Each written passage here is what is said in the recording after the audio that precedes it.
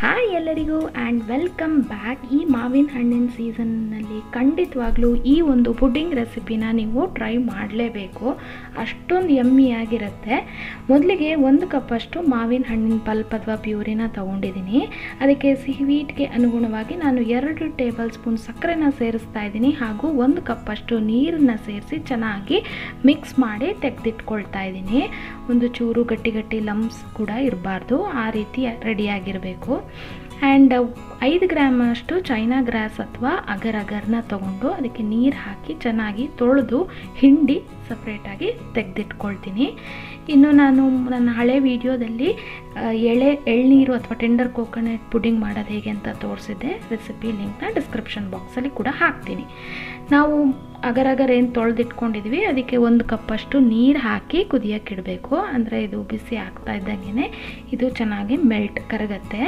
And ಇದು ಕರಗ್ತಾ ಇದ್ದಂಗೆ ನಾವೇನು ಮಾವಿನ ಹಣ್ಣಿಂದು ಜ್ಯೂಸ್ ಏನು ಮಾಡಿಟ್ಕೊಂಡಿದ್ವಿ, ಅದನ್ನು ಇದಕ್ಕೆ ಸೇರಿಸ್ಬೇಕು. ಸೇರಿಸಿ ಚೆನ್ನಾಗಿ, ಅಂದರೆ ತುಂಬ ಕುದಿ ಬರಬಾರ್ದು. ಸ್ವಲ್ಪ ಬಿಸಿ ಆಗ್ತಾ ಇದ್ದಂಗೆ ಇದು ಗಟ್ಟಿ ಆಗುತ್ತೆ.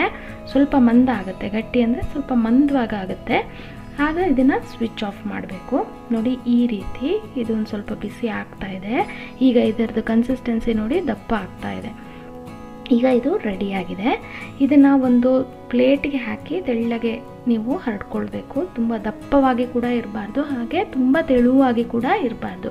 ಇದನ್ನು ನಾವು ಸಣ್ಣ ಸಣ್ಣ ಪೀಸ್ಗಳಾಗಿ ಕಟ್ ಮಾಡ್ಕೊಳ್ತೀವಿ. ಇದು ಫ್ರಿಜ್ಜಲ್ಲಿ ಇಟ್ಟು ಬೇಕಾದರೂ ನೀವು ಕೂಲ್ ಮಾಡ್ಬೋದು. ಹಾಗೆ ನಾರ್ಮಲ್ ಟೆಂಪ್ರೇಚರಲ್ಲಿ ಕೂಡ ತಣ್ಣಗಾದ್ಮೇಲೆ ಇದು ಈ ರೀತಿ ಗಟ್ಟಿಯಾಗುತ್ತೆ. ಒಂದು ಚೂರು ಕೈಗೆ ಅಂಟೋದಿಲ್ಲ. ನಂತರ ಇದನ್ನು ಸಣ್ಣ ಸಣ್ಣ ಪೀಸಾಗಿ ಕಟ್ ಮಾಡ್ಕೊಳ್ಬೇಕು. ಇನ್ನು ಯಾರೆಲ್ಲ ನನ್ನ ಚಾನೆಲ್ನ ಸಬ್ಸ್ಕ್ರೈಬ್ ಮಾಡದೆ ನೋಡ್ತಿದ್ರೆ ಸಬ್ಸ್ಕ್ರೈಬ್ ಮಾಡಿ ಹಾಗೂ ಪಕ್ಕದಲ್ಲಿರುವ ಬೆಲ್ ಐಕನ್ ಪ್ರೆಸ್ ಮಾಡಿದರೆ ನಾನು ಹಾಕೋ ವಿಡಿಯೋ ನೋಟಿಫಿಕೇಷನ್ ನಿಮಗೆ ಸಿಗುತ್ತೆ. ಈ ರೀತಿ ಕಟ್ ಮಾಡ್ಕೊಳ್ಬೇಕಾಗತ್ತೆ. ಸಣ್ಣ ಸಣ್ಣ ತುಂಡುಗಳಾಗಿ ನೀವು ಕಟ್ ಮಾಡ್ಕೊಳ್ಳಿ. ನಾವು ಅಗರಗರ್ ಸೇರಿಸಿರೋದ್ರಿಂದ ಅಥವಾ ಚೈನಾ ಗ್ರಾಸ್ ಸೇರಿಸಿರೋದ್ರಿಂದ ಇದು ಜೆಲ್ಲಿ ಕನ್ಸಿಸ್ಟೆನ್ಸಿಗೆ ಬರುತ್ತೆ. ಹಾಗೂ ನಿಮಗೆ ಒಂಥರ ಸ್ಪಾಂಜಿ ಸಾಫ್ಟ್ ಸಾಫ್ಟ್ ಆಗಿರುತ್ತೆ. ಇದನ್ನು ಹಾಗೆ ತಿನ್ನೋದಕ್ಕೆ ಕೂಡ ತುಂಬಾ ಟೇಸ್ಟಿಯಾಗಿರುತ್ತೆ ಮಕ್ಕಳಂತೂ ಇದನ್ನು ಹಾಗೆ ತಿನ್ನೋಕ್ಕೆ ತುಂಬ ಇಷ್ಟಪಡ್ತಾರೆ. ಇನ್ನು ನಾವು ಎಳ್ನೀರು ಗಂಜಿದು ಪಲ್ಪ್ನ ತಗೊಳ್ಳೋಣ ಗಂಜಿ ಏನಿರುತ್ತೆ, ಅದನ್ನು ನಾನು ಮಿಕ್ಸಿ ಜಾರಿಗೆ ಹಾಕ್ತಾ ಇದ್ದೀನಿ. ಹಾಗೂ ಎಳ್ಳು ನೀರನ್ನೇ ಸೇರಿಸಿ ನಾನು ನುಣ್ಣಗೆ ರುಬ್ಕೊಳ್ತೀನಿ. ಒಂದು ಚೂರು ಅದರಲ್ಲಿ ಸಣ್ಣ ಸಣ್ಣ ಗಂಟುಗಳು ಬರಬಾರ್ದು, ಹಾಗೆ ರುಬ್ಕೊಳ್ಬೇಕು. ಇನ್ನು ಐದು ಗ್ರಾಮ್, ಸೇಮ್ ಪ್ರಾಸೆಸ್, ಐದು ಗ್ರಾಮ್ ಅಗರ್ ಅಗರ್ಗೆ ಒಂದು ಕಪ್ಪಷ್ಟು ನೀರು ಹಾಕಿ ಕರಗಕ್ಕಿಡ್ತಾ ಇದ್ದೀನಿ. ಇದು ಚೆನ್ನಾಗಿ ಕರಗಿದ ಮೇಲೆ ನಾವೇನು ಪಲ್ಪ್ ಮಾಡಿದ್ವಿ, ಅದನ್ನು ಇದಕ್ಕೆ ಸೇರಿಸಿ ಚೆನ್ನಾಗಿ ಮಿಕ್ಸ್ ಮಾಡ್ಕೊಳ್ಬೇಕು. ನಾನಿಲ್ಲಿ ಸಕ್ಕರೆನ ಮೊದಲೇ ರುಬ್ಬಬೇಕಾದ್ರೆ ಸೇರಿಸಿಲ್ಲ. ಸೊ ಅದಕ್ಕೆ ನಾನು ಈಗ ಸೇರಿಸ್ಕೊಳ್ತಾ ಇದ್ದೀನಿ. ಒಂದು ಮೂರು ಟೇಬಲ್ ಸ್ಪೂನಷ್ಟು ಸಕ್ಕರೆನ ನಾನಿಲ್ಲಿ ಸೇರಿಸಿದ್ದೀನಿ. ನಿಮಗೆ ಸ್ವೀಟ್ ಇನ್ನೂ ಜಾಸ್ತಿ ಬೇಕು ಅಂತಂದರೆ ನೀವು ಸಕ್ಕರೆನ ಇನ್ನೊಂದು ಸ್ವಲ್ಪ ಜಾಸ್ತಿ ಹಾಕ್ಕೊಳ್ಬೋದು. ಇದು ಚೆನ್ನಾಗಿ ಕರಗದ ಮೇಲೆ ಬಿಸಿ ಬಿಸಿ ಇರಬೇಕಾದ್ರೇ ನೀವು ಒಂದು ಮೌಲ್ಡ್ ಅಥವಾ ಒಂದು ಪಾತ್ರೆಗೆ ಹಾಕ್ಕೊಳ್ಳಿ. ಆ್ಯಂಡ್ ಇದು ನೀರಾಗಿಯೇ ಇರಬೇಕಾದ್ರೆ ನಾವು ಏನು ಜಲ್ಲಿ ಮಾಡಿಟ್ಕೊಂಡಿದ್ವಿ ಮಾವಿನ ಹಣ್ಣಿಂದು ಪೀಸಸ್ ಅದನ್ನು ಕೂಡ ನಾವು ಇದರಲ್ಲಿ ಸೇರಿಸ್ಕೊಳ್ಬೇಕು. ಅಂದರೆ ಈಗ ಎಳ್ಳನೀರಿನ ಗಂಜಿ ನೋಡಿ ಎಷ್ಟು ನೀರಾಗಿದೆ ಆಗಲೇ ಸೇರಿಸ್ಬೇಕು. ಇದು ಬೇಗ ಗಟ್ಟಿಯಾಗುತ್ತೆ.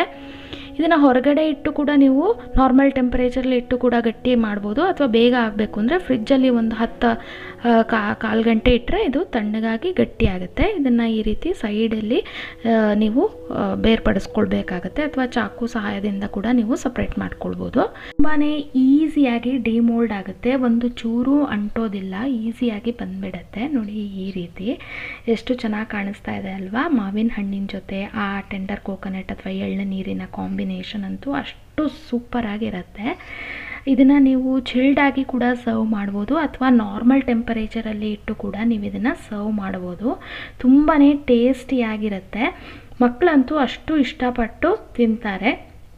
ಖಂಡಿತವಾಗ್ಲೂ ನೀವೊಂದು, ಈ ಒಂದು ಇಂಟ್ರೆಸ್ಟಿಂಗ್ ರೆಸಿಪಿನ ನೀವು ಟ್ರೈ ಮಾಡಲೇಬೇಕು ಹಾಗೂ ನನಗೆ ಕಮೆಂಟ್ ಸೆಕ್ಷನಲ್ಲಿ ತಿಳಿಸಿ ಹೇಗಿತ್ತು ಅಂತ. ಮುಂದಿನ ಇಂಟ್ರೆಸ್ಟಿಂಗ್ ರೆಸಿಪಿಯೊಂದಿಗೆ ನಾನು ನಿಮಗೆ ನೆಕ್ಸ್ಟ್ ವೀಡಿಯೋದಲ್ಲಿ ಸಿಗ್ತೀನಿ. Stay tune stay connected and thank you for watching